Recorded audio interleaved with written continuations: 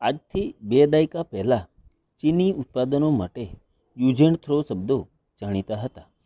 Chinese ઉત્પાદનો પ્રત્યેની અવિશ્વસનીયતા હતી. લગભગ દસ વર્ષ પહેલાં ચીની ઉત્પાદકોએ ભારતમાં બેટરીના અને રમકડાના નાના મોટા સેલ અને પેન્સિલ સેલ દાખલ કર્યા. ટનબંધ માલ ભારતીય બજારોમાં ઠલવાયો. આશ્ચર્યજનક રીતે ગ્રાહકોએ એ માલ સ્વીકાર્યો. નિયો અને એવરેડી જેવી કંપનીઓનું ધોવાણ થઈ ગયું. પરંતુ એ તો માત્ર દુર્ઘટનાની ચૂપકીદી ભરી શરૂઆત હતી અને ત્યાર પછીના વર્ષોમાં ભારતની અનેકાનેક કંપનીઓને તાળા વાગી ગયા. કારણ કે સવાર પડે ને ભારતના દરિયા કિનારે ચાઇનીઝ કંપનીઓ પોતાના તકલાદી સસ્તા ઉત્પાદનોના જહાજો ઠાલવવા લાગી.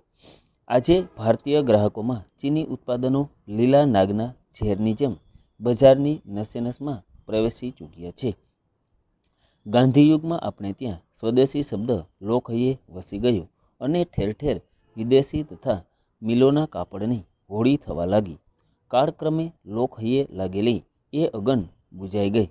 ભારતીય પ્રજાના કુલ વાર્ષિક ખર્ચમાં કપડા કપાળનો ખર્ચ બહુ મોટો છે.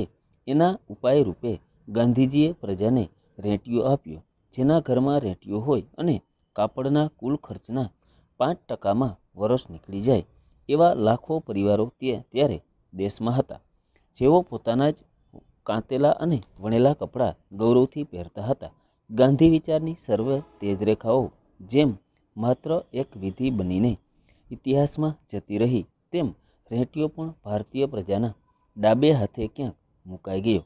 સાહિત્યકાર ઉમાશંકર જોશીના પુત્રી સ્વર્ગુના સ્વર્ગવાસ નંદિની જોશીએ ઓક્સફર્ડ કે કેમ્બ્રિજમાં ઇકોનોમિક્સ સાથે પીએચડી સુધીનો અભ્યાસ કર્યો હતો. તેમણે અમદાવાદ આજુબાજુના ગ્રામ વિસ્તારોમાં કાપડની સ્વનિર્ભરતાનો મોટો યજ્ઞ ચલાવ્યો હતો, જે તેમના નાની વયે થયેલા અવસાનના કારણે અધૂરો રહ્યો. નંદિનીબેન કહેતા કે આપણા શર્ટમાં બાર રૂપિયાનું સૂતર હોય છે, પાંચ રૂપિયાનો રંગ અને ત્રણ રૂપિયા મહેનત, વીસ રૂપિયાનું શર્ટ આજે ભારતના યુવાનોને બસો, ત્રણસો કે ચારસોમાં પડે છે. બ્રાન્ડેડ કંપનીઓ તો આથી ત્રણ ગણા પૈસા લે છે. રેટીઓ હાથમાં લીધા વિના અર્થતંત્રના આ મહાન રહસ્યો સમજાય એમ નથી. સ્વદેશી શબ્દ એક મંત્ર હતો. અત્યારે આ મંત્ર સિદ્ધાંત સ્વીકારો તો અડધી ઘરવખરી બહાર ફેંકવી પડે.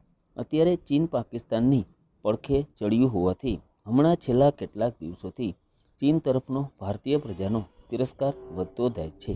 થોડા દિવસ પહેલાં રેવાડી અને પછી જબલપુરમાં વેપારીઓ અને સ્ત્રીઓએ જાહેરમાં ચીની ઉત્પાદનોની હોળી કરી સતત નવા વિષયની ઝંખના માટે તરસતા સોશિયલ મીડિયાએ આ મોકો ઝડપી લીધો અને અત્યારે ચીની ઉત્પાદનો સામે દેશભરમાં તરખાટ મકાવી, મચાવી મૂક્યો છે. સ્ટોપ.